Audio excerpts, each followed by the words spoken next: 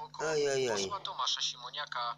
Jak mówi politolog profesor Mieczysław Ryba, taśmy Sławomira Neumanna wpłyną na wynik wyborczy Koalicji Obywatelskiej. To cofanie się no, pokazuje, jak jednak ostrym narzędziem są te taśmy. To wszystko Kurwa, jedna msza była, druga msza, toż to dzisiaj nie jest niedziela, to Radio Maryja przesadza.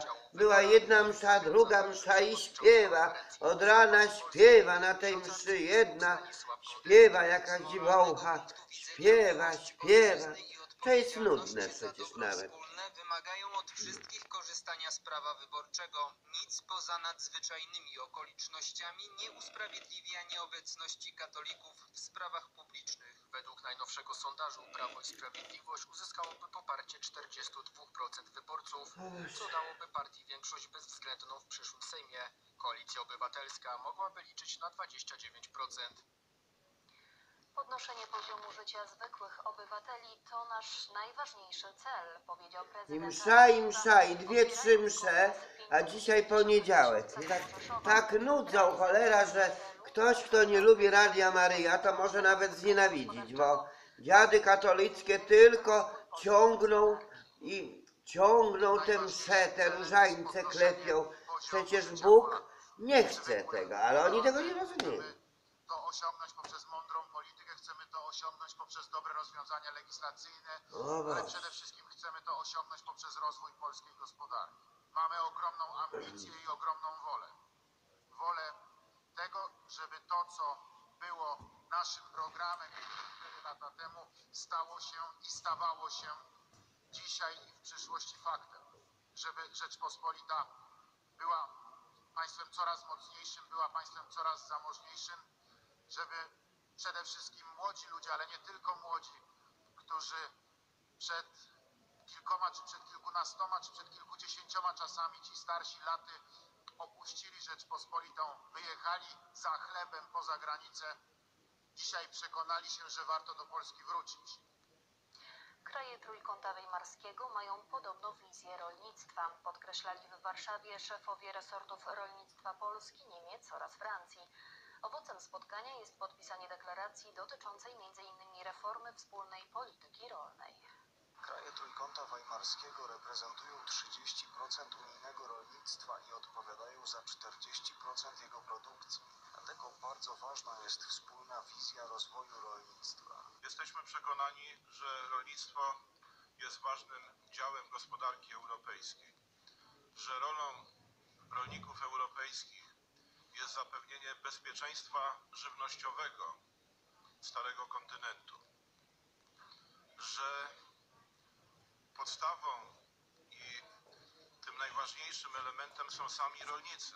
Dlatego ważne są wspólne starania o to, aby utrzymać odpowiedni poziom dochodów europejskich rolników. otwierając się na świat, na inne kontynenty, podpisując również porozumienia międzynarodowe, musimy dbać o to, żeby nie pogorszyć rolnictwa europejskiego, żeby ci, z którymi współpracujemy, to dotyczy innymi umowy Mercosur, spełniali te wysokie normy, które dotyczą żywności europejskiej żeby przestrzegali również porozumienia paryskie związane z troską o klimat. Szef polskiego resortu rolnictwa Jan Krzysztof Ardanowski podkreślał, że potrzebny jest duży i stabilny budżet przyszłej wspólnej polityki rolnej. Najbliższe miesiące będą kluczowe dla niej, gdyż zadecydują o tym, jak będzie ona wyglądała i jak będzie finansowana. Europa potrzebuje silnej wspólnej polityki rolnej z odpowiednim budżetem, który pozwoli rolnikom się rozwijać i tego, by Europa była mniej technokratyczna, mniej biurokratyczna, a bardziej skierowana w stronę obywateli. Szef francuskiego resortu Modlą się,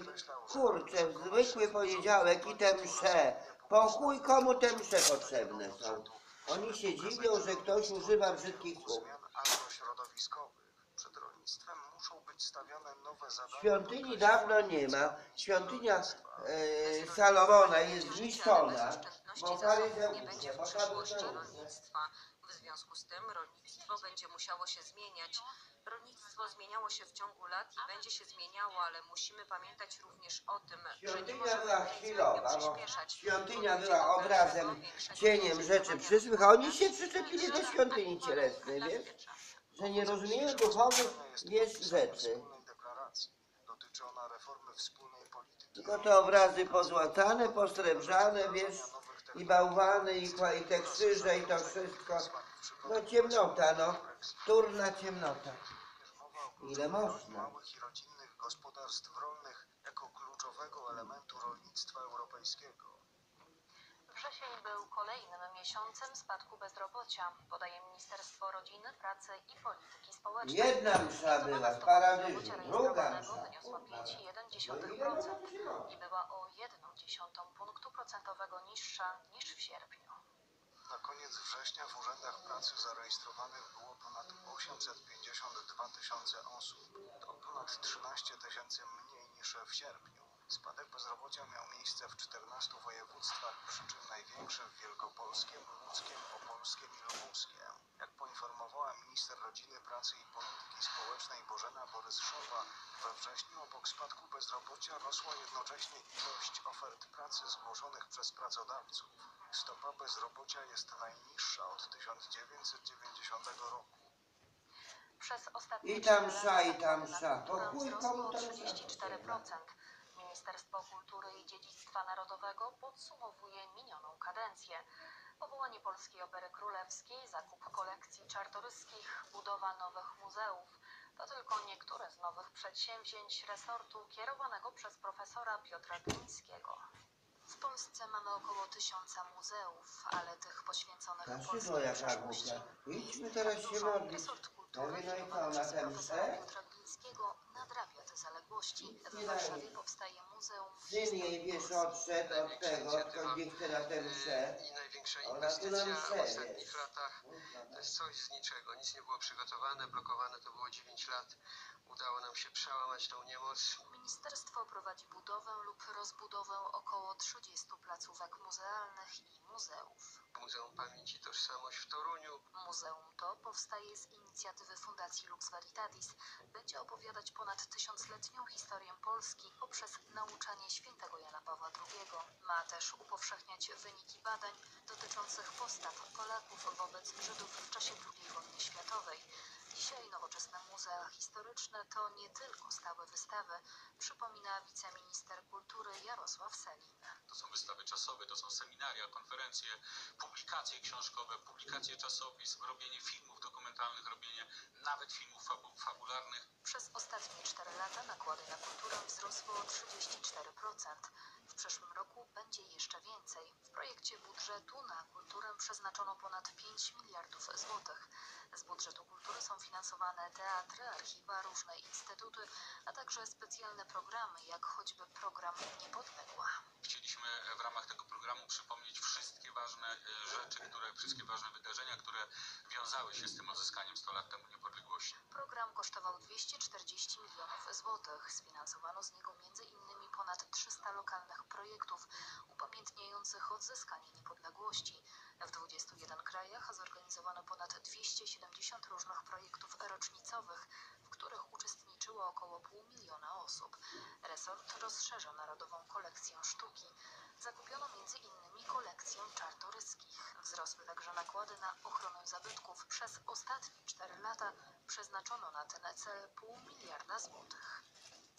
Rodzina, przyjaciele, znajomi, a także wielbiciele jego wielkiego talentu aktorskiego pożegnali dziś świętej pamięci Jana Kobuszewskiego. Jan Kobuszewski, wybitny aktor teatralny i filmowy, komik, reżyser, wykonawca skeczy i piosenek, po ciężkiej chorobie nowotworowej zmarł 28 września, mając 85 lat. Swoją wiarę w Boga przeżywał z autentyzmem, podkreślał w czasie mszy świętej pogrzebowej ksiądz biskup Piotr Jarecki. Wyprowadzał pobożność. Jak rozumianą pobożność? Rozumianą jako życie po I znowu jakaś msza. Daj spokój, debilu. Biblię czytaj.